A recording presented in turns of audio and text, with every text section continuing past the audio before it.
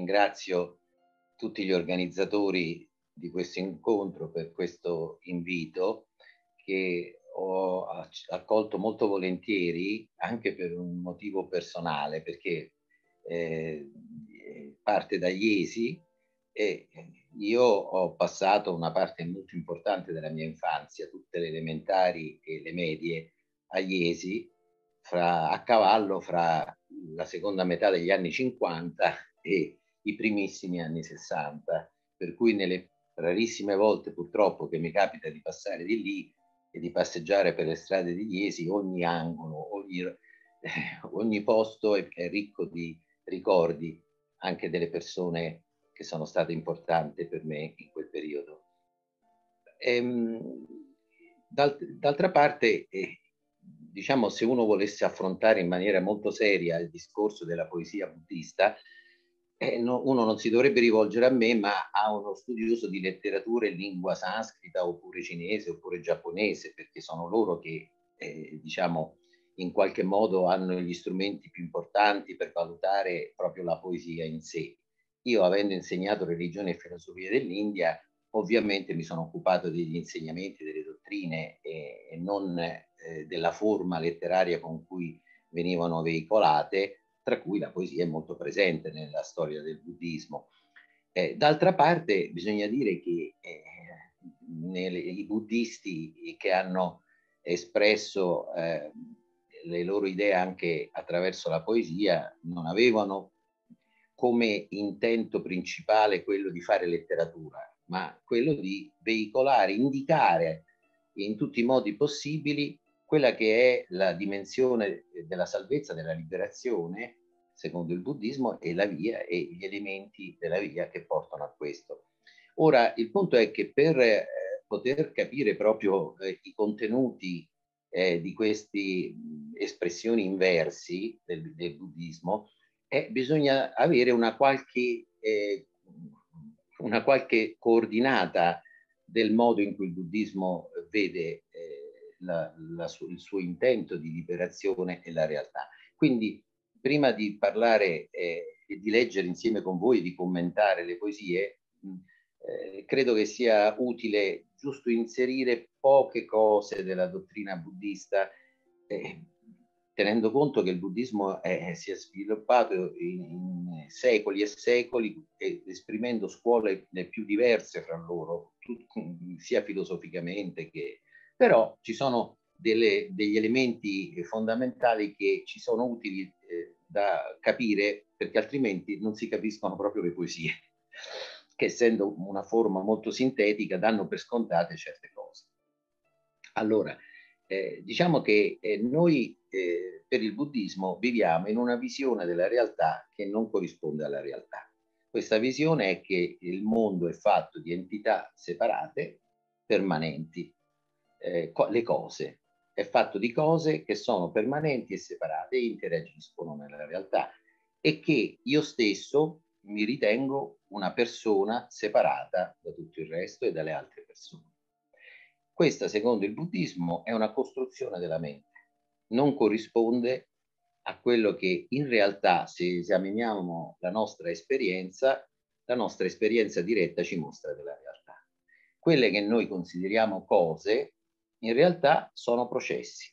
Secondo la verità dell'aniccia, che vuol dire impermanenza o anicchia, è, è tutto quanto, eh, quelle che noi chiamiamo cose, cambiano in continuazione a volte non ce ne accorgiamo, ci sembrano stabili per i limiti della nostra percezione. Se pensate, persino le montagne, viste nell'arco di secoli e secoli o di millenni, sono onde della Terra che si alzano e si abbassano. Non c'è niente di fermo in questo, in questo universo, tutto si trasforma continuamente. E dunque quelle che sono cose sono solo processi. Questo è il, il primo punto. Il secondo punto è che questi processi che chiamiamo cose o che chiamiamo persone, perché anche se noi guardiamo e cerchiamo il nostro io, come notò non solo il buddismo molto prima, ma anche il nostro grande filosofo Hume, se noi cerchiamo questo io non troviamo niente se non come io, troviamo flussi di pensieri, di ricordi, di emozioni, di sensazioni che cambiano in continuazione, ma non troviamo qualcosa di stabile. Quindi tutto ciò che a noi appare stabile è una costruzione della mente e questa costruzione è, è, è la radice anche della nostra sofferenza, perché nel momento in cui, per esempio, io sono un'entità separata, è chiaro che quello che prevarrà è l'egocentrismo e l'egoismo e quindi il conflitto e quindi la sofferenza. E anche la nascita e la morte di queste cose eh, in realtà eh, sono processi che non finiscono. Per fare un esempio semplice che fa Thich Nhat Hanh, un grande esponente di buddismo recentemente scomparso, eh, pensate alla, alla, separazione fra una rosa, un ramo spinoso e la immondizia. Non c'è niente di più separato, di più diverso. La rosa profuma, l'immondizia puzza, eh, la rosa è colorata, un ramo spinoso? No. Eppure, 15 giorni fa, quella che adesso è una rosa era un ramo spinoso e fra 15 giorni sarà immondizia. E non possiamo trovare nessun punto preciso dove finisce la rosa in quei 15 giorni e comincia l'immondizia, perché quelle linee le mette la mente, le mette attraverso questi nomi. E allora che cos'è eh, ramo spinoso, rosa, immondizia? Non tre cose separate tre nomi che indicano un unico processo senza nome che è cominciato con l'universo e va avanti con, anche oltre, no? Ecco, questo è, è un esempio, ma la, un altro esempio lo possiamo vedere quando pensiamo che eh, un, una, sono separ entità separate, la rosa è una nuvola, ma la nuvola eh, produce la pioggia, l'acqua della pioggia è assorbita e diventa la rosa. E naturalmente, eh, quindi quando noi diciamo e il sole fa evaporare l'acqua del mare e, e fa la nuvola, quindi quando noi diciamo sole, nuvola, rosa, usiamo nomi diversi, utili, ma eh, per, per, indicare eh, qualcosa che un processo unico che non può essere separato e frammentato. La costruzione di queste cose nasce, secondo il buddismo, dal fatto che noi ehm, usiamo il pensiero concettuale le, che si basa sul linguaggio e quindi sui nomi. E i nomi hanno questa caratteristica, che sono limitati, perché se dico rosa non dico nuvola, e che sono, eh, e che sono eh, in, in, qualche modo eh, fissi, fermi. La realtà, abbiamo detto, si muove in continuazione, ma eh, i nomi sono fermi, sono come delle fotografie e quindi non possono rendere l'essenza vitale di tutto questo.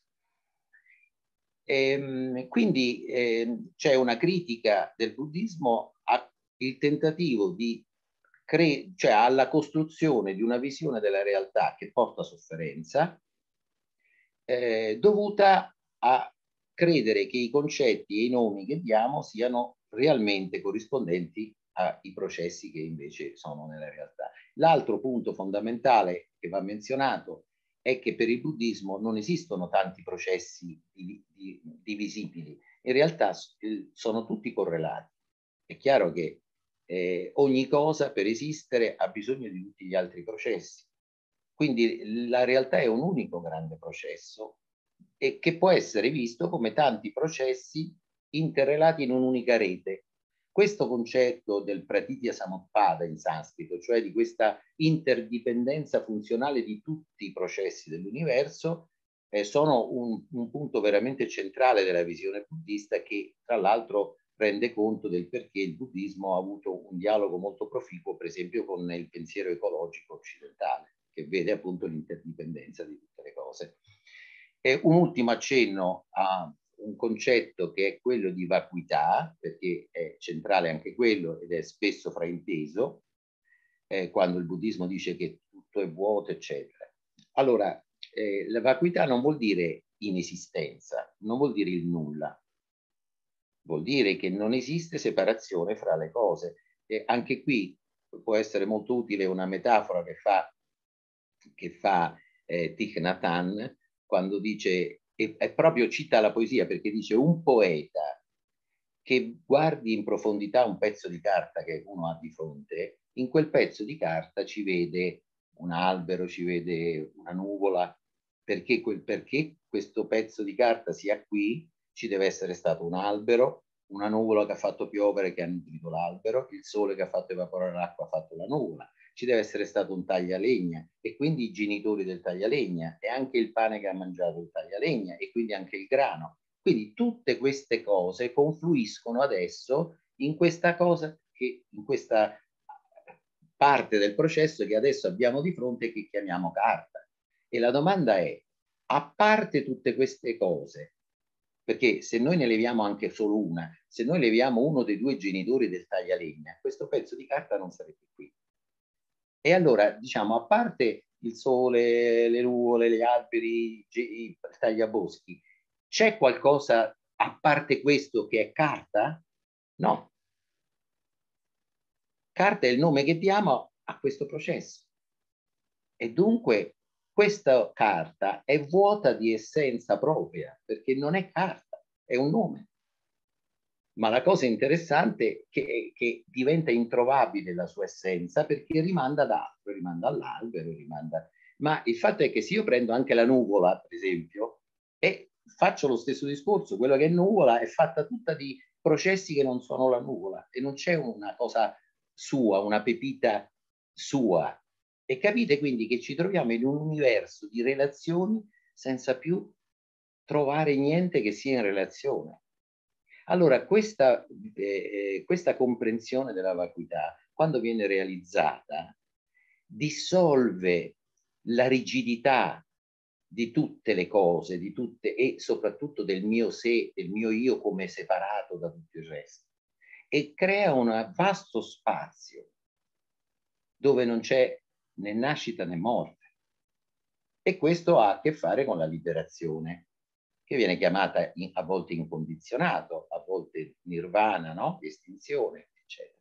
Detto, ho detto solo queste poche cose perché ci danno delle giuste coordinate per capire qualcosa delle poesie. Allora, adesso cominciamo a leggere insieme eh, alcuni testi che sono presi dal, eh, dal canone Pali, che è il più antico canone che ci sia rimasto nella sua completezza. È in lingua Pali che è derivata dal sanscrito, insomma. Eh. E c'è un testo eh, che poi diventerà pan-buddista perché abbiamo anche una versione in sanscrito, anche nel, nelle altre forme di buddismo successive, molto famoso, che si chiama il Dhammapada. E I versi del Dhammapada dicono, per esempio, questo. Dicono, contempla questo mondo come una bolla d'acqua, come un miraggio. Chi vede il mondo così diventa invisibile al re della morte. Allora, alla luce di quello che abbiamo detto, è, è, è, qui viene espresso la bolla d'acqua, il miraggio, cioè non vederlo quando metti i nomi come se queste cose fossero veramente come appaiono, perché c'è una vasta eh, libertà in, dietro tutto questo e se tu riesci a vedere questo sei libero dal terrore della morte perché capirai che il tuo io non si esaurisce in, un corpo, in una mente, perché nulla è separabile da tutto e quindi il tutto continua. In questa, nella tradizione buddista è molto importante una sviluppo di una attenzione, di una consapevolezza. Perché? Perché per riuscire a scardinare questa specie di costruzione del mondo eh, illusoria che, che, facciamo attraverso le parole, i pensieri, i concetti, è necessario eh, esaminare con, in più in profondità quella che ci dice la nostra esperienza diretta. Eh, e quindi in questo è importante lo sviluppo di una capacità di osservare l'esperienza al di là dei nomi e delle parole che ci proiettiamo sopra. Ecco perché la distrazione è eh, un pericolo eh, di cadere sempre nelle, in queste illusioni, mentre invece l'attenzione è eh, uno strumento fondamentale. E allora c'è un verso famoso del Dhammapada che dice chi prima viveva immerso nella distrazione e poi si fa attento, costui illumina questo mondo come la luna liberata dalle nubi. Questa immagine della luna liberata dalle nubi compare più volte nei testi buddisti e non so se vi è capitato mai in una bella notte, magari autunnale, di vedere la luna coperta da una nuvola e poi mano a mano che la nuvola si sposta si scopre la luna e la luna getta la sua luce su tutto. Ecco, la luna è un simbolo molto ricorrente anche per esempio in Cina e in Giappone come, ehm, come un simbolo della mente luminosa che coincide con la liberazione, con, l'illuminazione, illuminazione, no? Ecco, allora eh, viene più usata il simbolo della luna che quella del sole, perché la luna è un'illuminazione silenziosa ed ha un, un valore quindi simbolico importante perché nella via buddista eh, questa illuminazione questa si ha con lo sviluppo di una mente quieta, silenziosa, e la notte è più silenziosa del giorno. Poi abbiamo un verso del Dhammapada interessante, eh, però prima di leggerlo eh, è interessante il, il, la cornice narrativa che ci aggiunge un commentario antico sempre però di questi versi, cioè racconta magari in maniera leggendaria, ma racconta il contesto in cui questi versi sono stati detti dal Buddha.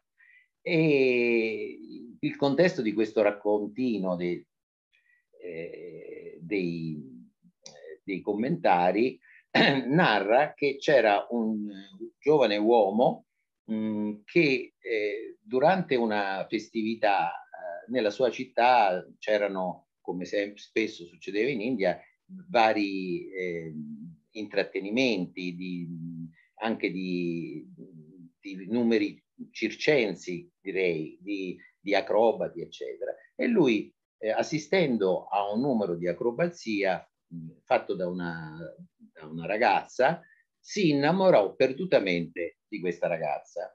Eh, però lui, essendo evidentemente molto timido, invece che cercare di eh, così entrare in contatto, eccetera, andò a casa, si sdraiò a letto e disse io non posso vivere se non riesco a stare con questa ragazza.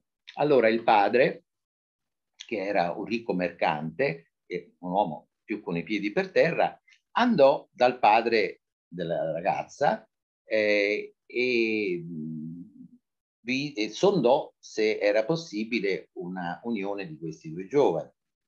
E il padre della ragazza dice, guarda, eh, se lui vuole venire eh, con noi, sì, però noi facciamo una vita girovaga, eh, andiamo di piazza in piazza, quindi se lui vuole si unisce a noi e vediamo che succede.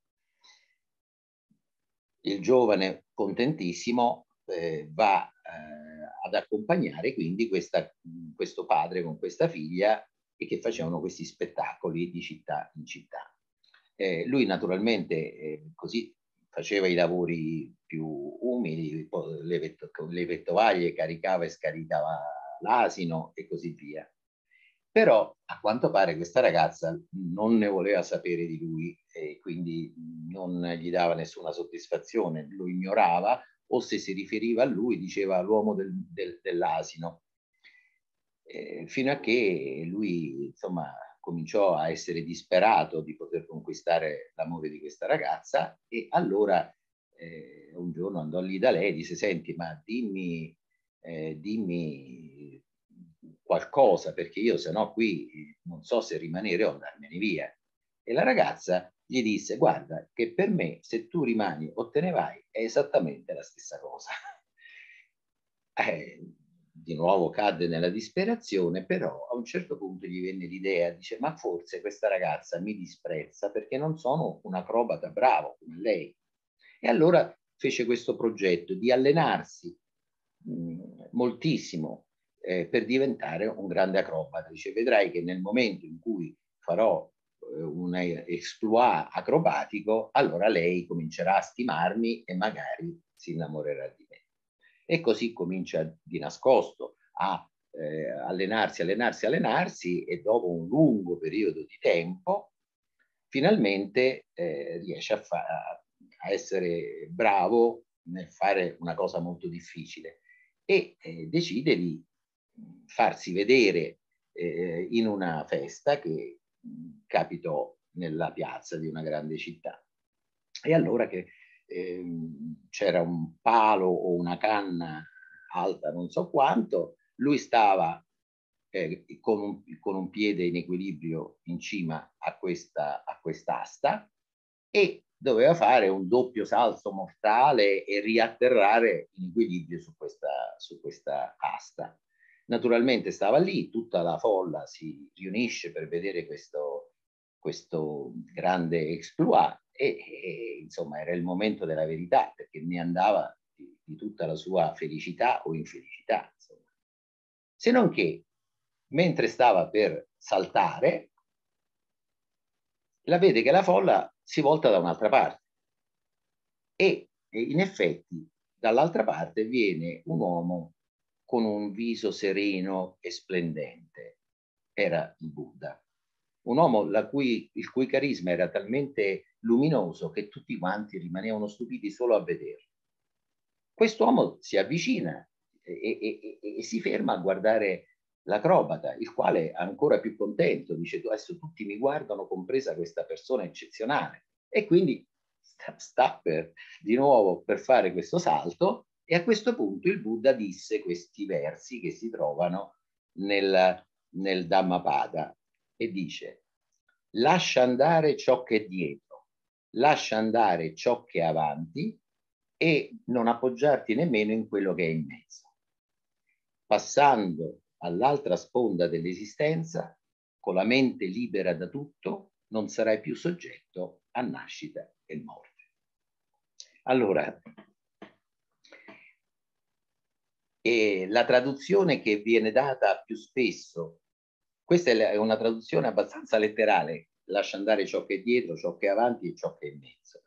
Eh, la maggior parte, anzi, i commentari, eccetera, eh, la, la, la intendono eh, riferita al tempo e quindi spesso traducono lascia andare il passato, lascia andare il futuro che è avanti e, e lascia andare anche il presente. Eh, e allora sarei libero da nascita e morte. Però è chiaro che in questo eh, racconto che, che, che, viene aggiunto a questi versi, eh, eh la questione era un'altra, perché eh, eh, si trattava di un, di un equilibrio impossibile da realizzare e in cui lui aveva in mano tutta la sua vita e tutta la questione di, di felicità e infelicità. Allora, questo, questo dire lascia andare tutto, eh, naturalmente si riferisce proprio alla mente, agli opposti, avanti, dietro, passato, futuro e anche il presente si è visto come un momento fra il passato e il futuro, cioè esci dalla dinamica degli opposti, esci dal tempo e allora ti trovi là dove non c'è né, né nascita né morte.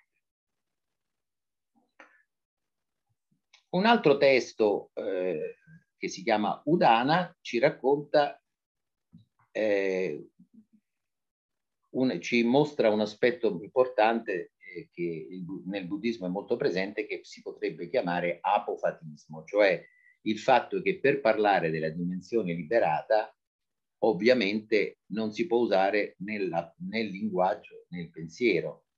Eh, si dice spesso che la liberazione è attacca vachara, cioè una sfera che è al di là del pensiero. Il pensiero è troppo limitato per poter accogliere qualcosa di infinito. E allora l'unico modo a volte di esprimere che cos'è eh, questa dimensione dell'incondizionato è dire quello che non è. E, e in questo famoso passo dell'Udana viene detto esiste uno stato dove non c'è né terra né acqua né fuoco né aria, dove non c'è né lo spazio infinito né la coscienza infinita, né il vuoto nulla, né la presenza o l'assenza della coscienza, dove non c'è né questo mondo né un altro mondo al di là, né entrambi, dove non c'è né luna né sole. Da lì non si viene a nascere e lì non si va. Lì non c'è nascere, né durare, né decadere, perché è fuori del tempo. Non è fermo né si muove, non si fonda su nulla. Ecco invero la fine del dolore. è interessante notare che, eh, senza andare nei dettagli, che dove dice che non c'è lo spazio infinito, la coscienza infinita, il vuoto, il nulla, eccetera, si sta riferendo a degli stati meditativi fra i più avanzati che il buddismo coltiva. Il, il buddismo coltiva la meditazione e nelle punte più elevate della concentrazione, della quiete mentale, abbiamo questi stati dello spazio infinito, della coscienza infinita, del vuoto, eccetera. Ma questi spazi non sono la liberazione perché, perché? Perché la liberazione è incondizionata, non, è, non può essere prodotta, perché tutto ciò che è prodotto, proprio perché è prodotto, prima o poi finisce. Tutto ciò che nasce, proprio perché nasce, muore. Tutto ciò che è causato da cause e condizioni, proprio perché è causato, prima o poi finisce. Tutto ciò che accumuli, proprio perché lo accumuli, si esaurirà. Mentre l'incondizionato è qualcosa che non può essere raggiunto per, o causato, realizzato. E quindi neanche le forme di meditazione più profonda che il buddismo, diciamo, frequenta, possono portare, realizzare eh, l'incondizionato perché altrimenti non sarebbe incondizionato, sarebbe prodotto da, dalla mente che medita. Quindi tutte queste forme di meditazione in realtà alla fine eh, mostrano che do, qualsiasi cosa la mente cerchi di fare per realizzare la liberazione non può raggiungerla. E non può raggiungerla perché essendo incondizionata vuol dire che non è condizionata neanche dallo spazio e dal tempo, per cui è sempre qui, è sempre ovunque. Solo che la mente deve provarle tutte prima di rendersi conto che è già qui, che non, non sta da un'altra parte, che non la raggiungerà in futuro, ma che è qui e il problema non è di fare qualcosa per raggiungerla, ma di vedere che è già qui. Ecco perché viene detto che non, eh, non, non nasce e non ci, da lì non si viene lì, e lì non si va. È qui, non è un lì, è un qui. Ed è un qui non nello spazio. Infatti dice non è fermo né si muove perché tutto questo avviene, stare fermi o muoversi avviene nello spazio, ma è oltre lo spazio. Non si fonda su nulla, viene detto. E questa è l'unica vera fine del dolore. Abbiamo anche nel canone antico alcune sezioni chiamate Teragata e Terigata, che sono delle poesie composte da monaci o monache spesso dopo aver raggiunto la, il risveglio. E, ehm, e quindi hanno composto dei versi per esprimere questa, questa situazione, questa, questa, questo risveglio in qualche modo. E ce n'è uno eh, di eh, una monaca che si chiama Pataciara, d'Alterigata. Questa Pataciara era una donna sposata eh, che, che la vita ha messo a dura prova perché rimase vedova e poi gli morì, le morì anche il figlio. Quindi visse un dolore straziante e proprio questa grande sofferenza eh, diciamo, evocò in lei un anelito a liberarsi definitivamente dalla sofferenza, ma questo vuol dire cercare, eh, trovare, cercare una dimensione che va oltre la nascita e la morte.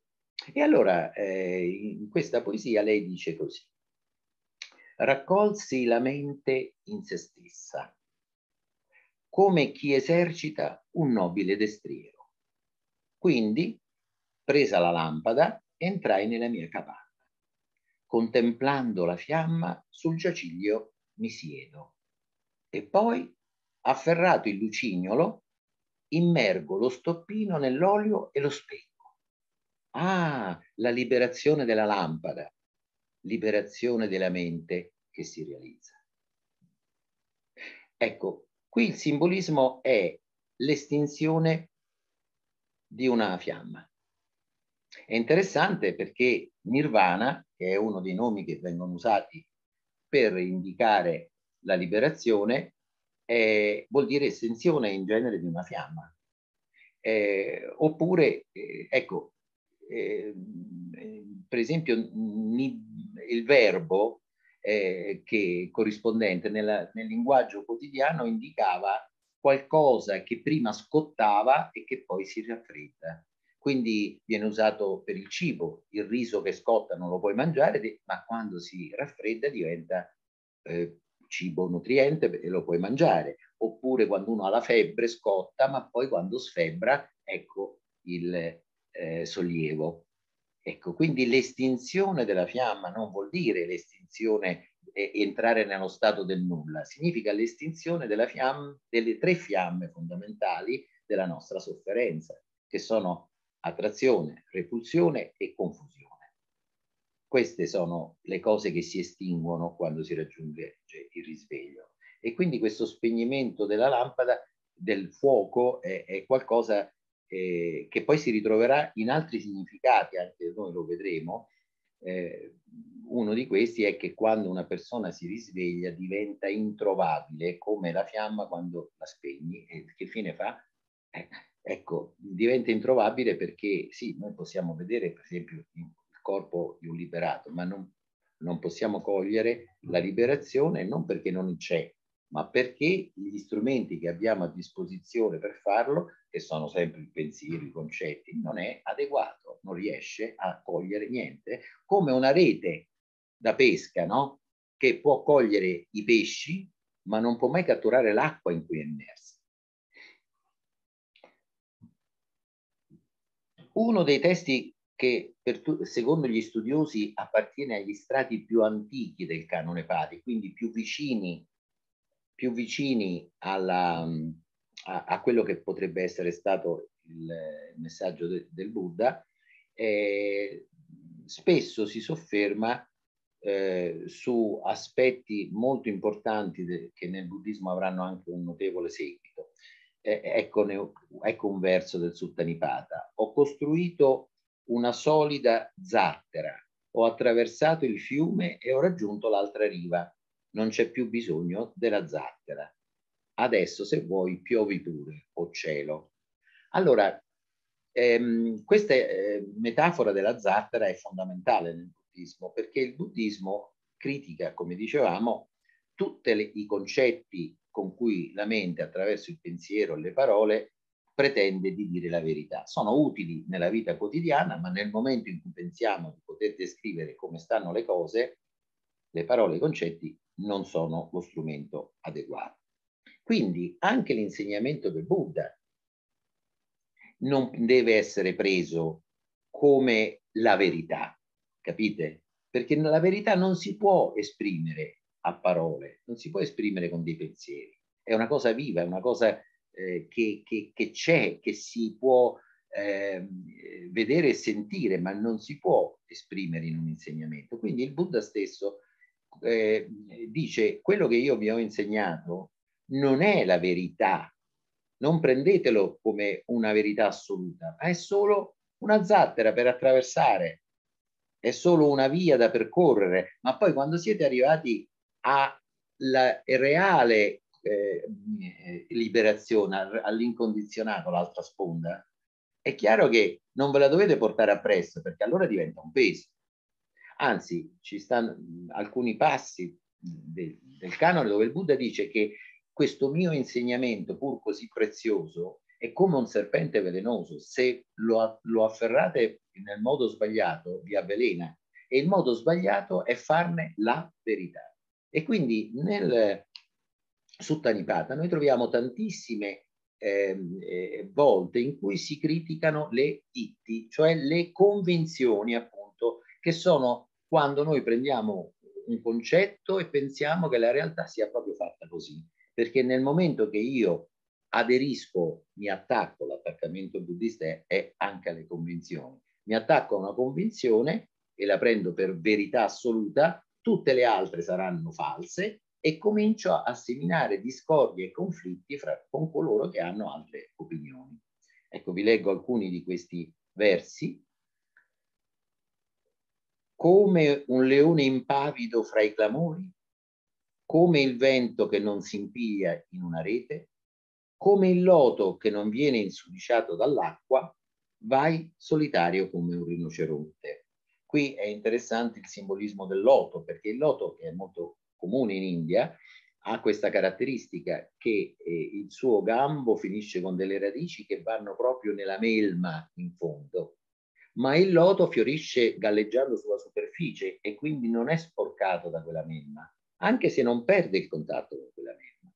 E quindi è un simbolismo proprio di come, senza cercare di sfuggire alla realtà della sofferenza, alla realtà della nascita e della morte, ma affondando le radici in, in, in ciò che noi siamo, sentiamo, possiamo arrivare però a fiorire oltre questa sofferenza e, no, e a non esserne contaminati.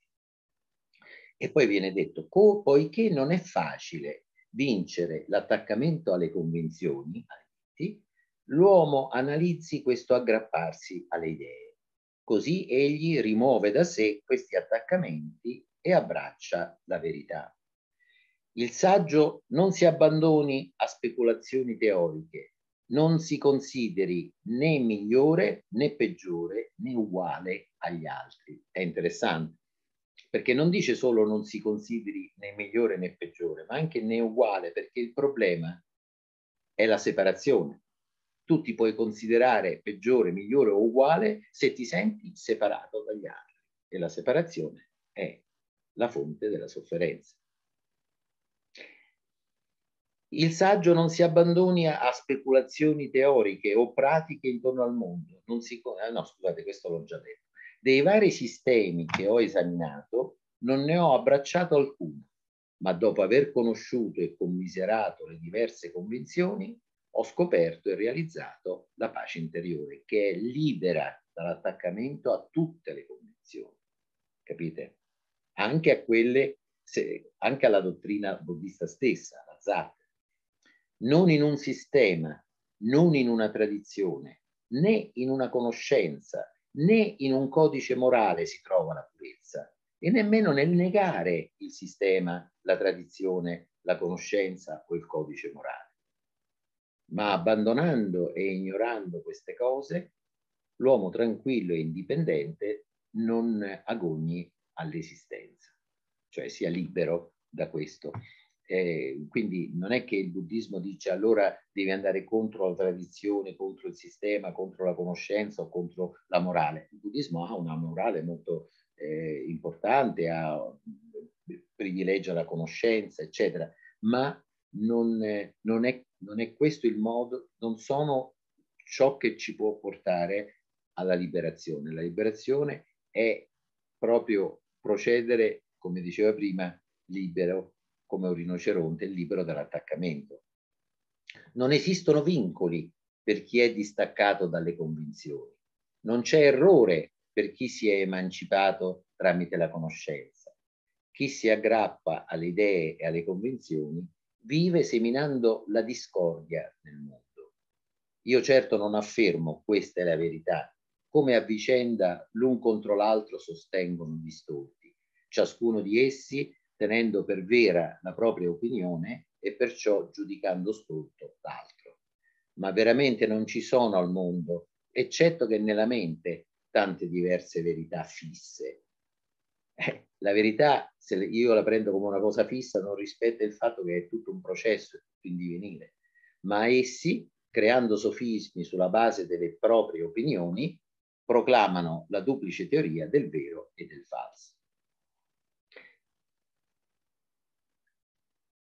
Come una fiamma spenta dalla forza del vento scompare e non ha più nome, così il silenzioso che si è liberato da nome e forma scompare e non è più nominabile. Questo è un concetto che ho detto poco fa e si rifà allo stoppino spento della monaca, no? Vedi il mondo come vuoto, sempre consapevole, elimina l'idea dell'io separato e così supererai la morte. Il re della morte non vede colui che vede il mondo così. Questo è un verso che richiama quello che avevamo visto prima del Dhammapada. Nel Visuddhimagga abbiamo citati dei versi che eh, sottolineano il concetto di anatta, cioè della non eh, eh, esistenza veramente di un io separato. Infatti viene detto in maniera molto lapidaria, c'è la sofferenza ma nessuno che soffra. Ci sono le azioni, ma nessuno che agisca. C'è la liberazione, ma nessuno che la raggiunga. C'è il sentiero, ma nessuno che lo percorra. Cioè la liberazione consiste nel vedere che tutto questo tutto, sono eventi del tutto impersonali e che quindi non c'è più colui che soffre, colui che agisce, colui che si libera, ma ci sono solo sofferenze, azioni e libertà che si avvicendano in una dimensione, come ho detto, del tutto impersonale. Ecco, ehm, e arriviamo a eh, Shantideva che invece eh, non è più, non stiamo più parlando del, del, del, canone Pali, ma di un testo fondamentale di quello che è il buddismo Mahayana, cioè un'evoluzione successiva del buddismo. Ora, è interessante il eh, Shantideva perché ehm, ehm, nel suo poema famoso che è il Bodhicharya Avatara, cioè la, la, la, carriera del Bodhisattva, che è una figura importante nel buddismo, insomma è, è, il cammino verso la liberazione, diciamo. Shantideva eh, è un'eccezione abbastanza rara nei testi non solo buddisti ma diciamo indiani in generale, che come vedete da questo che abbiamo già letto fino adesso, sono eh, test, poesie che in qualche modo eh, parlano della, dell'insegnamento in una maniera molto impersonale. Invece Shantideva racconta in questo poema anche molto usando la parola io, cioè racconta le sue vittorie, le sue sconfitte, racconta eh, la sua eh, disperazione di fronte alla sofferenza, la sua paura di fronte all'idea di, di morire eh, e sua, il senso di refrigerio, di sollievo nel momento in cui in qualche modo ehm, ha una possibilità di liberazione. Quindi da questo punto di vista l'aspetto emotivo in Shantideva appare più evidente, quindi il, suo poema ha eh, più affinità con come noi siamo abituati a familiarizzarci con la nostra poesia occidentale, dove invece l'elemento eh, dell'io, l'elemento delle emozioni, l'elemento soggettivo è molto più, più accentuato che non quello impersonale. Eh, la leggenda narra che Shantideva eh, fosse un monaco mh, che siccome evidentemente aveva eh, dentro di sé realizzato l'assenza dell'io, eh, non, non si faceva notare nel monastero, anzi faceva i suoi lavori umili senza eh, mostrare alcuna, alcun talento particolare. Apparteneva a quella categoria di monaci disprezzati dagli altri che sono solo capaci di mangiare, dormire, bere, insomma, e, e nient'altro. E allora a un certo punto in quel monastero si decise per un po' per scremare la situazione di sottoporre a una specie di esame tutti i monaci, in cui ogni monaco veniva invitato davanti a, in presenza di tutti gli altri a dare una prova della sua comprensione dell'insegnamento buddista. Lo potevano fare eh, commentando un famoso testo, eh, oppure, se erano particolarmente geniali, con un testo composto da loro. Shantideva, quando fu il suo turno, disse che avrebbe recitato un poema, eh, diciamo, fatto da lui, fra, diciamo, l'ilarità degli altri monaci che dicono figura di questo, chissà che, che farà. E invece nel momento che comincia e, e va avanti con questo poema rimangono tutti folgorati dalla saggezza e dall'intensità di tutta questa esposizione dell'insegnamento buddista. E sempre la leggenda dice che furono ancora più esterefatti quando, verso la fine, recitando un certo verso, Shantideva cominciò a sollevarsi nell'aria e poi con le ultime parole e poi scomparve e non se ne seppe più niente, che è un simbolismo del trascendimento dell'egoità, ovviamente dell'io. E poi andarono nella sua cella e lì trovarono il, te il testo scritto del suo Bodhicharya Avatara.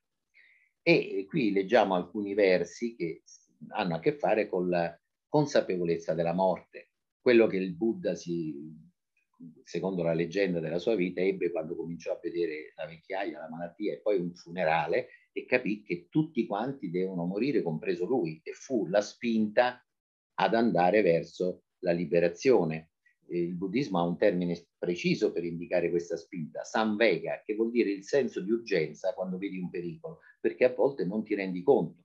Quindi già rendersi conto in maniera concreta della nostra angoscia per la nostra mortalità è una forma di primo risveglio a mettersi in moto per risolvere questo, questa, questa eh, spada di Damocle, no? che essendo nati noi sicuramente moriremo. E questo ci dà angoscia e questa angoscia chiede, eh, ci spinge verso una soluzione, se c'è. Allora, versi di Shantideva. La morte non si ferma a considerare ciò che è fatto o che resta da fare. Con un umore ci sono tante cose che vorrebbe finire e non riesce a finire. È un colpo di fulmine improvviso che ci termisce e né il sano né il malato si devono fidare di lei. Chi non mi è caro non sarà più. Chi mi è caro non sarà più. Io stesso non ci sarò più e ogni cosa smetterà di esistere. Gli oggetti che percepisco non saranno più che un ricordo, come ciò che si vede in sogno, spariranno senza lasciare traccia. Non avevo capito di essere io stesso uno straniero di passaggio qui. Per l'ottenebramento, l'attrazione e l'avversione ho spesso commesso il male.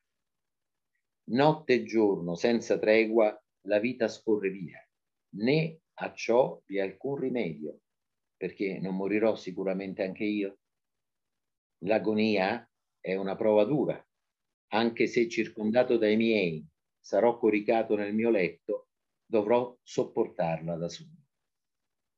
Avendo compreso che non c'è scampo in alcun luogo, ripiombato così nello sgomento, che fare allora in un frangente così terribile? Chi mi dà sicurezza e come fuggirò? È inevitabile che io non ci sarò più. Come può allora la mente stare in pace?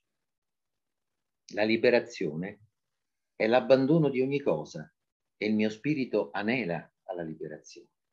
E visto che devo lasciare andare tutto, tanto vale che doni ogni cosa a tutti gli esseri. Come accade quando un cieco trova una perla in un mucchio di immondizia, così non so come è sorto in me il pensiero dell'illuminazione. È un elisir che serve ad abolire la morte del mondo, un tesoro inestimabile per eliminare la miseria della terra. Si dice, tocca a chi soffre difendersi dalla sofferenza. Però, anche se il dolore del piede non è quello della mano, perché la mano va a lenire il piede dolente? Questo è un verso importante perché parla della compassione nella concezione buddista. Allora,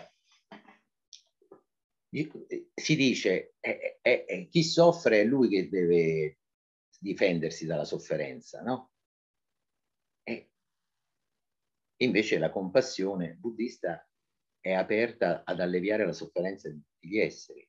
Ecco, infatti la, la, la cosa si dice tocca a chi soffre difendersi dalla sofferenza, però anche se il dolore del piede non è quello della mano, perché la mano a lenire il piede dolente? Quando ci fa male un ginocchio, un piede, la mano spontaneamente va lì a, a massaggiare per lenire il dolore. Perché? Che cos'è che rende questo gesto spontaneo? È il fatto che non sono separati. La mano e il piede non sono due cose diverse, sono parte di un unico organismo. E allora spontaneamente la mano va a lenire il piede perché sono stessa, lo stesso organismo, non sono separabili. E questa è tutta la differenza fra l'egoità di chi crede di essere un io separato e la visione di chi vede sé inseparabile da tutto il, da tutto il resto. E quindi non esistono tanti sé separati. E la sofferenza tua diventa la sofferenza mia. È come in fondo la stessa detto evangelico, ama il prossimo tuo come te stesso, si potrebbe aggiungere perché tu sei il tuo prossimo, non c'è separazione. E allora la compassione non è un io separato che dall'alto guarda un altro che soffre e dice io provo compassione per te mentre io sto bene. No, è un moto del tutto spontaneo dove non c'è un io che agisce, avviene da sé l'aiuto compassionevole perché nasce da una non separazione.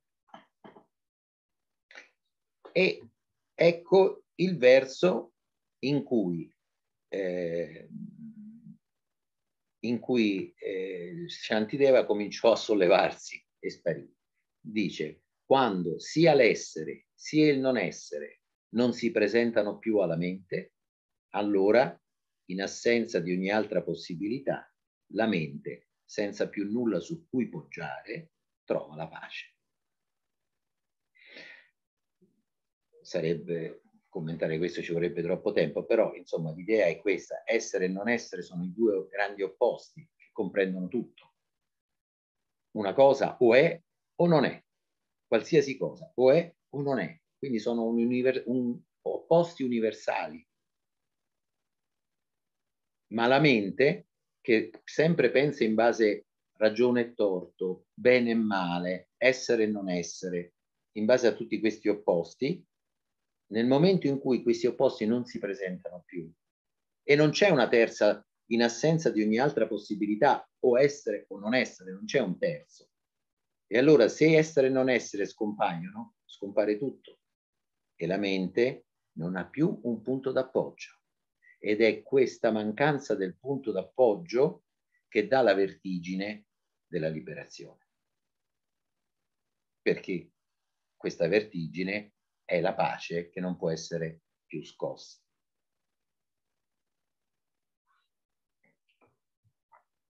Ora ehm, facciamo un grande salto, purtroppo non possiamo eh, neanche eh, leggere alcune bellissime cose di, forme di buddismo diverse come quello tibetano e passiamo invece, perché è molto diversa la, il modo di esprimersi, a quello che è invece le forme, le poesie del buddismo estremo orientale, Cina, Vietnam, ehm, Giappone, eccetera.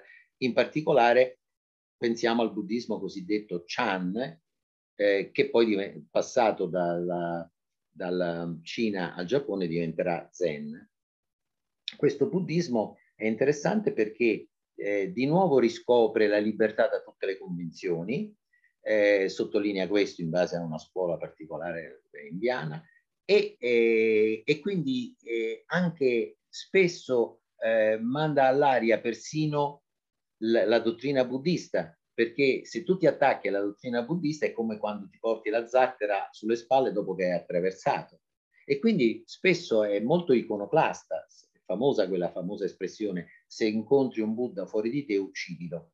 Cioè perché, perché eh, ciò che è la liberazione è sempre qui, non sta né nel futuro né in un altro posto. Ecco, eh, e, e, in Cina poi questo, questo Chan, questa forma di buddismo che diventa una forma autenticamente cinese, senza tradire i, i principi essenziali del buddismo, ma assume un modo di esprimersi eh, cinese che è molto influenzato dal taoismo, quindi con una grande attenzione alla natura, alla naturalezza. Gli indiani vanno verso l'assoluto, l'astrazione, i cinesi eh, invece esprimono lo stesso concetto di liberazione eh, attraverso la natura. Ecco, allora mm, c'è eh, da questo punto di vista interessante due poesie che si trovano nel cosiddetto Sutra di Huineng. Huineng è stato un grandissimo patriarca della scuola Chan che ha dato luogo alla scuola del sud.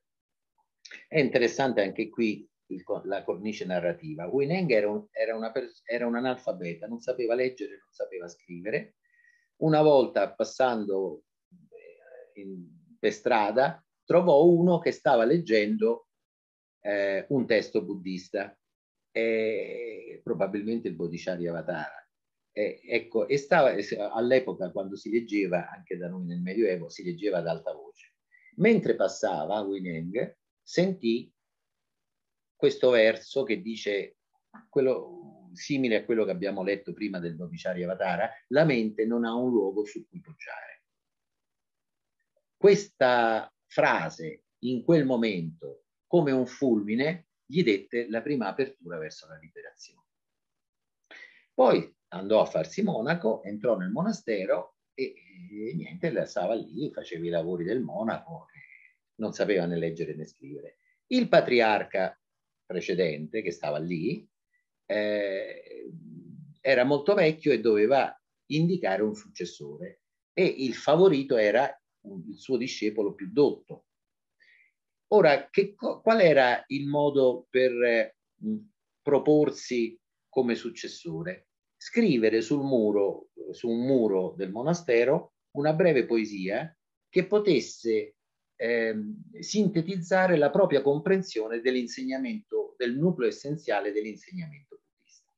Tu scrivevi questa poesia, poi magari capitava che il, vec- il vecchio patriarca la leggesse e, e da lì valutava se il livello di comprensione del candidato eh, fosse all'altezza di essere successore il diciamo favorito, appunto questo dotto che si chiamava Shin Xiu, scrisse eh, sul muro questa, eh, questa poesia.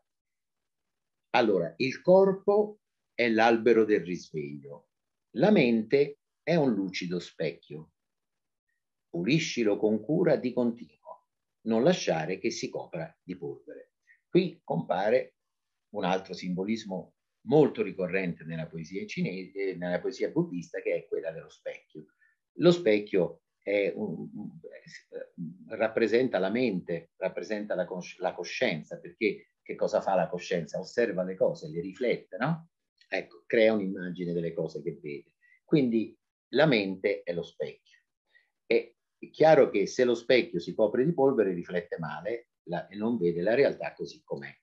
E quindi bisogna, attraverso una pratica meditativa continua, pulire sempre lo specchio della mente in maniera che veda le cose così come sono, rifletta le cose così come sono. Questa era la comprensione di Shin Xiu. Wineng chiese a un monaco che sapeva leggere di leggergli quella poesia e disse se per piacere scriveva la sua. E la, la, la poesia di Wineng disse non c'è albero del risveglio né lucido specchio, poiché in realtà tutto è vuoto, dove può cadere la polvere? Eh, vedete che qui abbiamo la comprensione della sciuniatà, cioè dice che nella realtà eh, non puoi raggiungere la liberazione eh, pulendo lo specchio, eccetera, attraverso una pratica che non può causare l'incondizionato, ma quello che devi renderti conto è che quando tu parli delle, delle cose, dello, della mente, dello specchio, del corpo, stai usando di nuovo eh, il pensiero e il linguaggio che vede delle cose laddove c'è una vastità libera che è la vacuità. E in questa vacuità eh, non c'è polvere che possa cadere su qualcosa. Se si riesce a vedere questo, allora si è liberi e risvegliati. Naturalmente quando lesse questa poesia, il vecchio patriarca capì che era Huineng, quello che aveva capito l'essenza più profonda dell'insegnamento buddista, che la mente non ha un posto dove appoggiare. Quando la mente gli levi ogni appoggio, allora precipiti nell'infinito.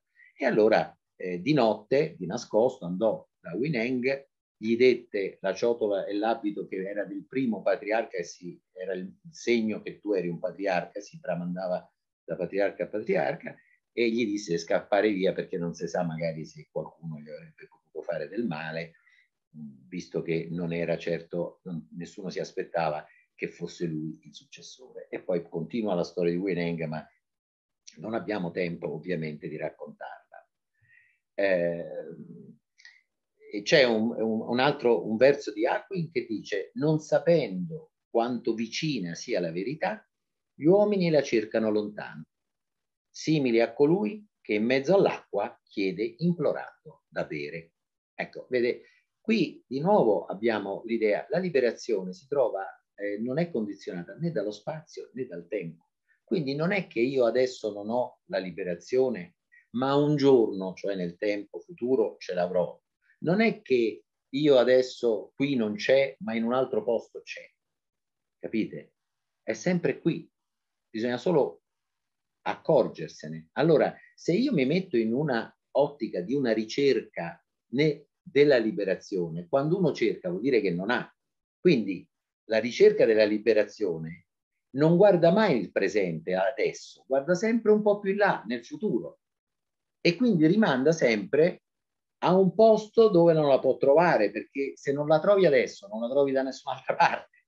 Ed ecco allora che la liberazione eh, deve eh, in qualche modo eh, la verità in questo è, è qui e quindi chi la cerca lontano è proprio nel cercarla la allontana. Cercare vuol dire non trovare in realtà, perché simile a colui che in mezzo all'acqua chiede implorando da bere, non si accorge che l'acqua è tutta intorno a lui. Mumon centinaia di fiori in primavera, la luna d'autunno, una fresca brezza estiva, la neve dell'inverno. Libera la mente dai pigri pensieri e com'è bella per te ogni stagione. Ecco, qui eh, abbiamo di nuovo questo aspetto importante della natura nel suo avvicendarsi e eh, quando la mente si libera dai pensieri, allora ogni stagione è bella perché vedete la mente invece compara, comincia a vedere gli alberi spogli d'inverno e la compara alla primavera e dice eh, quanto è brutto gli alberi spogli quanto sono brutti gli alberi spogli d'inverno rispetto ai fiori della primavera, no? Eh, ma così ti, ti, ti, perdi la bellezza del cielo che si intravede fra i rami senza, senza le foglie, ti, ti perdi la bellezza della neve, eccetera. Quindi nel momento in cui il pensiero compara, eh, paragona qualcosa che non c'è a quello che c'è e si impedisce di vedere la bellezza unica di quello che c'è. Quando invece la mente si libera da questi pensieri, allora ogni stagione è bella per te. Una se- eh, Yao Shan. Una sera si inerpicò sino alla cima solitaria di fra le nuvole gli si scoprì la luna e come rise di cuore. Ecco, qui abbiamo questa salita e poi a un certo punto la luna esce dalle nubi, simbolismo della luna che illumina, è, è, è il simbolo in questo caso dell'illuminazione e la risposta è una risata di cuore, una risata perché ti accorgi che tutto quello che pensavi prima non è così, che questa ricerca era del tutto vana perché quella è sempre stata lì.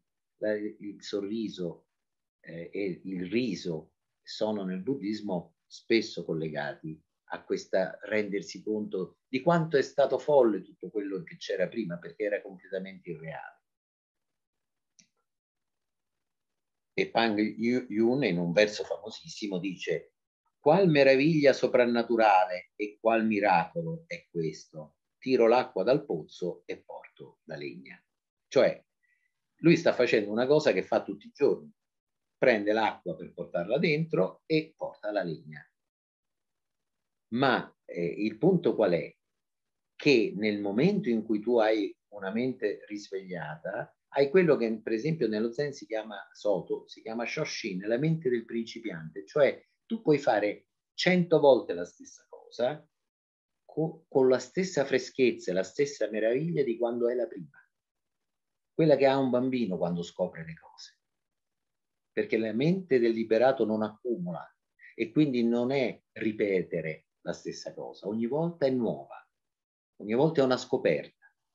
Anche l'azione più umile, come tirare acqua dal pozzo e portare la legna, diventa qualcosa di miracoloso. Ecco perché in molti tra, eh, dialoghi zen, quando per esempio l'allievo chiede al maestro eh, che cos'è la mente liberata, lui dice è quella ordinaria. Non c'è un al di là. È questa, è questa la mente. Ecco, dallo Zenrin. Se la realtà è già evidente Ma allora a che serve la meditazione?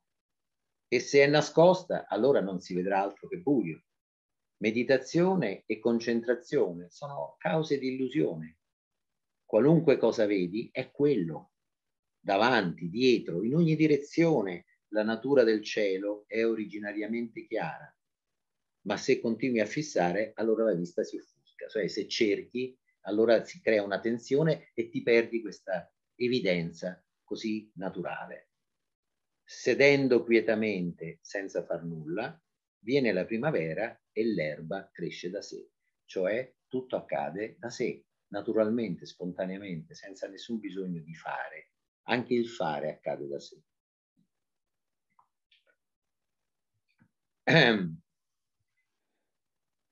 Come il vuoto cielo, esso, parlando della dimensione liberata, non ha confini. È anche qui ovunque profondo e chiaro. Quando lo cerchi non lo trovi. Non lo puoi afferrare, ma non puoi neanche perderlo. Non potendolo raggiungere, lo raggiungi. Quando taci, parla. Quando parli, tace. Questo è un influsso chiaramente taoista proprio, perché dette, vengono dette cose simili nel Tao. La tua natura fondamentale non la puoi afferrare, perché per esempio la mano, come fa ad afferrare se stessa? È chiaro che la mano non può afferrare se stessa, ma non se ne può neanche liberare. La coscienza, che fa parte della nostra natura essenziale per certe tradizioni buddiste, può vedere tutto ma non può vedere se stessa, come l'occhio, l'occhio può vedere tutto ma non se stesso. Non è un oggetto che si può mettere di fronte. Non posso vedere la mia schiena se comincia a girare su me stesso, però non la posso perdere.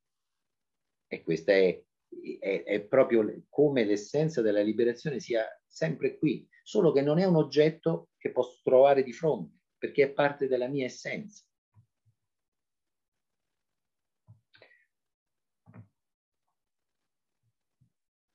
Gli fu off- questo è Jung, Jung Kung. Gli fu offerto il mondo intero, egli rifiutò e se ne andò. Non scrisse poesie, visse la poesia prima che questa esistesse. Non parlò di filosofia, ripulì lo sporco che la filosofia si era lasciata dietro. Non aveva dimora, viveva in una palla di polvere giocando con l'universo intero. Allora, qui è chiaro, è l'immagine di un liberato, no? Non, scri- ecco, non scrisse poesie, visse la poesia prima che questa esistesse. Ecco, per il buddismo la poesia è l'espressione di qualcosa che è un vissuto e che quello che è più importante per il buddismo è il vissuto, non la poesia. La poesia è utile se ti riesce a rison, rison, scusate, risintonizzarti con la fonte da cui è scaturita, perché quella fonte è appunto la dimensione liberata. Ecco, eh, questo invece è preso da un altro eh, Ngok Kien. Nascita, vecchiaia, malattia e morte. Fin dall'inizio è questo il modo in cui le cose sono sempre andate. Qualsiasi idea di liberarti da questa vita non farà che avvic- avvic- avvincerti più stretto nelle sue spire. Chi dorme cerca un Buddha, chi è, chi è turbato si volge alla meditazione, ma colui che sa che non c'è niente da cercare sa anche che non c'è niente da dire e tiene la bocca chiusa. Cioè, praticamente il, il, non, la, cercare la liberazione non significa fuggire dalla realtà della sofferenza, della nascita, della vecchiaia, della malattia, della morte, significa viverle così profondamente da scoprire oltre quello che non nasce e non muore. Quindi se io cerco di fuggire sarò sempre continuamente schiavo di quello che cerco di fuggire. È quando vado in profondità che posso trovare ciò che è oltre. La primavera, questo è Woman, la primavera ha cento fiori, l'autunno la luna chiara, l'estate ha fresche brezze e l'inverno la neve. Se la tua mente non è distratta dai tuoi affari, questa è la tua occasione. Terra, monti, fiumi, in questo nulla celati. Terra, monti, fiumi, in questo nulla rivelati. La primavera fiorisce, l'inverno cala la neve, non c'è né essere né non essere e nemmeno questa negazione, cioè non c'è. Cioè qui vedete c'è questo nulla che sarebbe la vacuità, che da un lato nasconde, dall'altro rivela terra, monti, fiumi, tutte le cose e non c'è né essere né non essere, di nuovo l'apofatismo, andare oltre la mente e quindi cancella persino quello che lui sta dicendo perché dice neanche questa negazione. E quindi all'improvviso ti leva tutto e la mente si trova senza più parole di fronte alla realtà. Ecco perché la realtà rimane la stessa, ma nello stesso tempo è tutto diverso. Bunan dice, la luna è la vecchia luna di sempre, i fiori sono proprio come prima, eppure ho raggiunto l'essenza di tutte le cose che vedo. Bascio, nei suoi haiku, qui entriamo negli haiku, ma dice a un certo punto, solo perché esisto sono qui, tra la neve che cade. Allora, solo perché esisto sono qui, tra la neve che cade. Qui c'è la differenza fra che esisto, il fatto che esisto, e l'essere qui, Dasein direbbe Heidegger, cioè tra la neve che cade. l'essere, il fatto che l'evento che io esisto è l'apertura all'esserci qui in questo momento fra la neve che cade. Perso tra i bambù, ma quando spunta la luna, ecco la, ecco la mia casa. Anche qui la luna illumina ciò e quello che prima vivevo come essere perso si rivela come essere a casa.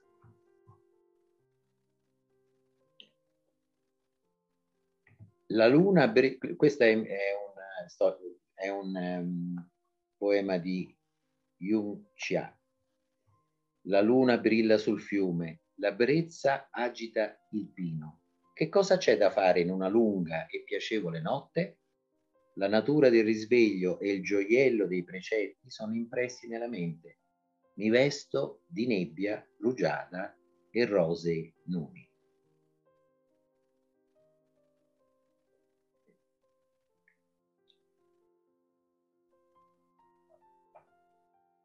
Va bene, ehm, ci sarebbero tante altre cose da leggere, però eh, vorrei, vorrei concludere con una poesia, diciamo, più recente, che è di Thich Nhat Hanh. Appunto, Thich Nhat Hanh è stato uno, diciamo, dei due più grandi rappresentanti contemporanei del buddismo ha, ha avuto un, per carisma e per eh, ammirazione è, stato pari al Dalai Lama. Era un monaco vietnamita e ha vissuto la, il, dramma, il dramma di quella guerra perché non è ovviamente loro aiutavano gli uni e gli altri chi soffriva e quindi erano considerati dalle due fazioni in guerra nemici perché aiutavano anche il loro nemico tant'è vero che poi lui fu esiliato dal Vietnam per tanti tanti anni e solo verso la fine della sua vita è potuto ritornare lì. Ehm, e quindi vorrei concludere con una poesia che tra l'altro in questo momento eh, può essere anche molto di ispirazione. La premessa, leggo anche la premessa che è importante. Allora, eh, questa mh, poesia è stata scritta all'epoca in cui c'era, con la guerra del Vietnam, c'era il dramma di boat people. I boat people erano i vietnamiti che fuggivano dalla guerra su delle imbarcazioni con i pochi averi che potevano portarsi appresso, ma poi in quel mare nel sud-est asiatico spesso erano vittime dei pirati che li, li uccidevano e prendevano tutti i loro beni. Eh, si calcola che solo la metà dei boat people riesca ad arrivare a terra, l'altra metà perisce in mare. E dice Thich Nhat ci sono stati parecchi casi di ragazze violentate dai pirati. Eh, ricordo una lettera che parlava di una bambina di 12 anni violentata da un pirata thailandese. La bambina si annegò gettandosi in acqua. La prima reazione che, pro- che si prova eh, scusate, di fronte a un fatto del genere è di rabbia contro il pirata. È naturale. È naturale prendere le parti della bambina, ma guardando più in profondità possiamo vedere le cose diversamente. Se ci schieriamo dalla parte della bambina è tutto facile, prendiamo un fucile e lo scarichiamo sul pirata. No, non possiamo fare così. La meditazione mi ha fatto capire che se fossi nato nel villaggio del pirata, se fossi stato allevato a quel modo, adesso sarei io il pirata. Sì, con molta probabilità sarei diventato un pirata anch'io e non sarei così sicuro di dovermi condannare. La meditazione mi insegna che ogni giorno nascono centinaia di bambini lungo le coste del Golfo del Siam e se noi educatori, assistenti sociali e uomini politici non facciamo niente per cambiare la situazione, tra 25 anni molti di questi bambini faranno i pirati. Non è solo una probabilità, è un fatto. E se voi o io nascessimo oggi in uno di quei villaggi di pescatori, tra 25 anni saremmo un pirata. Prendendo un'arma e giustiziando il pirata, uccidete tutti quanti, perché tutti siamo in misura diversa responsabili di questo stato di cose. Al termine di una lunga meditazione scrissi una poesia. Parla di tre persone, la bambina di 12 anni, il pirata e me. Guardandoci, ci riconosciamo l'uno nell'altro la poesia si intitola Per favore chiamatemi con i miei veri nomi, perché io ho tantissimi nomi. Udendo uno qualunque di quei nomi, io risponderò. Ed ecco la poesia. Non dire che domani scomparirò, perché io arrivo sempre. Guarda in profondità. Io arrivo ogni secondo per essere un germoglio sul ramo a primavera, per essere un minuscolo uccellino con le ali ancora fragili che impara a cantare nel suo nido, per essere un bruco nel cuore di un fiore, per essere un gioiello che si nasconde in una pietra. Io arrivo sempre per ridere e per piangere, per temere e per sperare. Il ritmo del mio cuore è la nascita e la morte di tutto ciò che è vivo. Io sono un insetto che muta la sua forma sulla superficie di un fiume. E io sono l'uccello che a primavera arriva a mangiare l'insetto. Io sono una rana che nuota felice nell'acqua chiara di uno stagno e sono il serpente che avvicinandosi in silenzio divora la rana. E io sono, sono un bambino in Uganda, tutto pelle e ossa, le mie gambe esili come canne di bambù e sono il mercante di armi che vende armi mortali all'Uganda. Io sono la bambina dodicenne, profuga su una barca, che si getta in mare dopo essere stata violentata da un pirata. E io sono il pirata, il mio cuore ancora incapace di vedere e di amare. Io sono un membro del Politburo, con tanto potere a disposizione e sono l'uomo che deve pagare il debito di sangue alla mia gente, morendo lentamente in un campo di lavori forzati. La mia gioia è come la primavera, così splendente, che fa sbocciare i fiori in tutti i sentieri della vita. Il mio dolore è come un fiume di lacrime così gonfio che riempie tutti i quattro oceani. Per favore, chiamatemi con i miei veri nomi cosicché io possa udire tutti i miei pianti e tutte le mie risa insieme, cosicché io possa vedere che la mia gioia e il mio dolore sono una cosa sola. Per favore, chiamatemi con i miei veri nomi, così che io mi possa svegliare e così che la porta del mio cuore sia lasciata aperta, la porta della compassione. E mi fermo qua.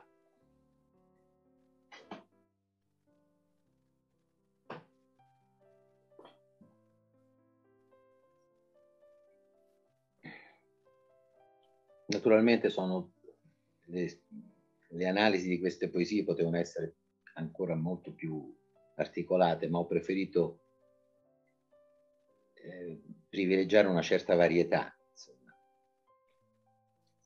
E non so se Alessandro voleva eh, intervenire. Io personalmente intanto ti volevo ringraziare per questo intervento.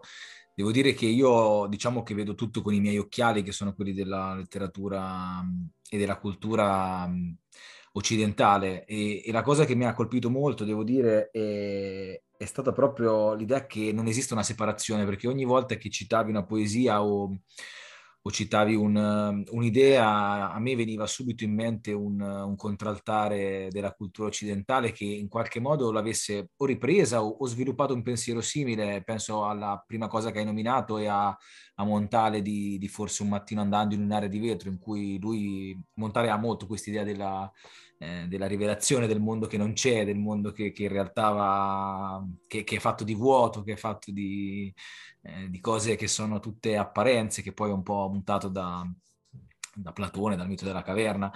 Eh, però è interessante questa idea che, che culture diverse e anche lontane tra di loro abbiano sentito il bisogno con linguaggi diversi, ma di dire cose che hanno una linea comune che le tiene insieme.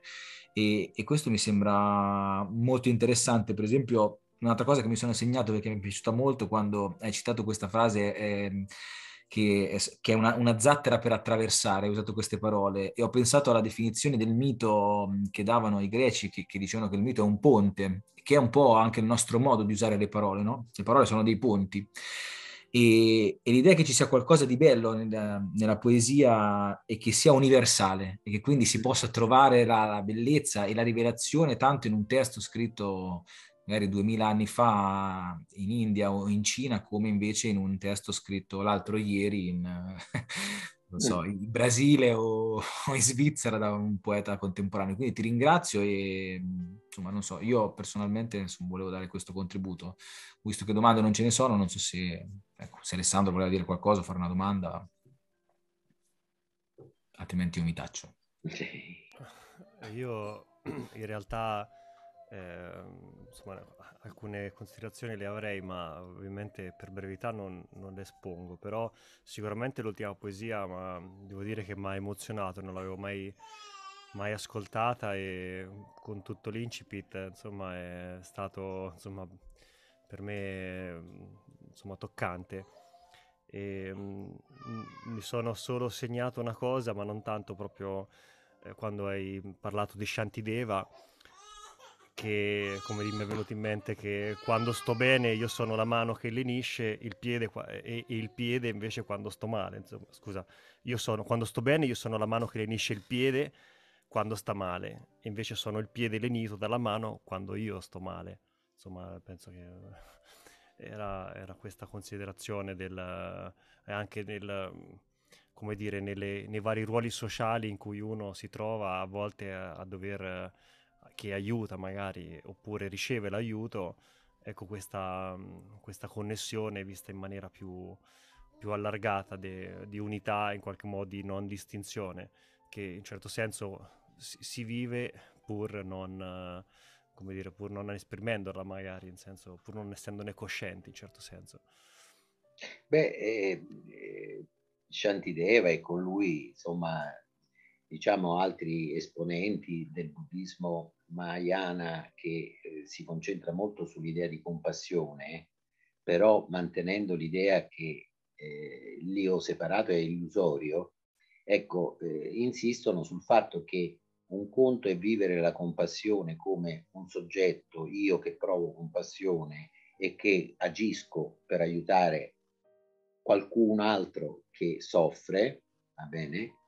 E invece quando eh, la compassione eh, trascende la differenza, la separazione fra eh, col, diciamo il soggetto, l'azione e l'oggetto e diventa un'unica cosa, diventa una risposta, una risposta eh, spontanea eh, come la mano quando va a venire il piede.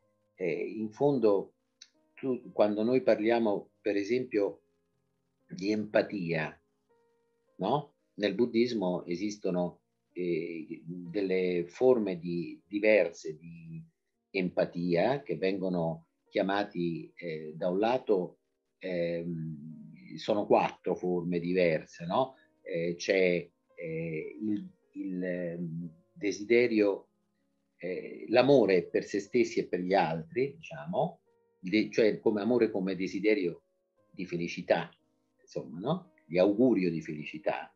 Poi c'è la compassione, cioè senti- sentire il tuo dolore come il mio. Poi c'è eh, mudita, cioè la gioia empatica invece, sen- sentire la tua gioia come mia. E poi ci sta l'equanimità, che sentire tutto in maniera equanime, senza scelta. Ora, prendiamo per esempio la, questa gioia empatica, no? Noi eh, abbiamo vari esempi eh, in cui lo proviamo e non lo proviamo. Cioè, se per esempio sono in lizza per, eh, con un collega d'ufficio per avere un avanzamento di carriera e vince lui e io rimango al palo, lui è felice, ma io non provo felicità, provo se, semmai invidia. Ma se invece eh, ho un figlio, un bambino piccolo, quando lui è felice, eh, io sono felice. C'è questa, questa empatia, cioè la, la separazione è meno evidente. Quindi l'empatia avviene nella misura in cui l'idea di essere un io separato si assottiglia o, o addirittura sparisce. Ecco, quindi in questo senso la compassione non è mai guardare dall'alto eh, chi soffre, no? Eh, da, no, la compassione è un'azione che viene talmente spontanea che tu non, non hai nessun merito, tra, tra virgolette.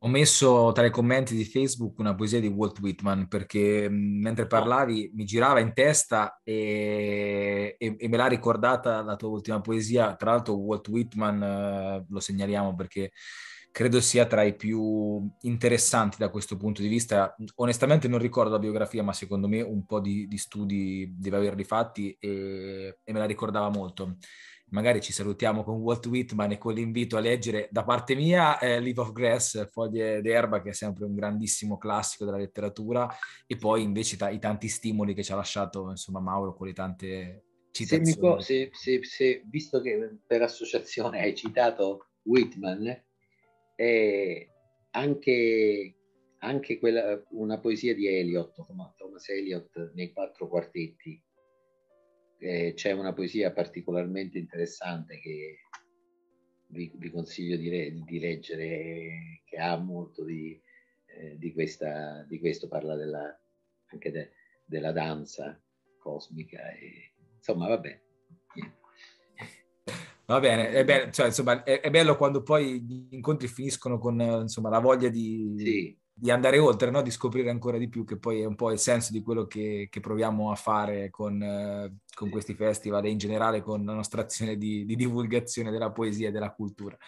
Grazie a tutti di essere stati con noi e buon proseguimento, vi aspettiamo a settembre a similitudini, restate collegati sulla nostra pagina perché poi vi daremo le informazioni del festival eh, fisico, se, insomma, potendolo, sperando di poterlo fare senza troppe restrizioni, diciamo, dovute al, al, Covid. Grazie mille al nostro relatore e buonasera a tutti quanti. Arrivederci. Arrivederci.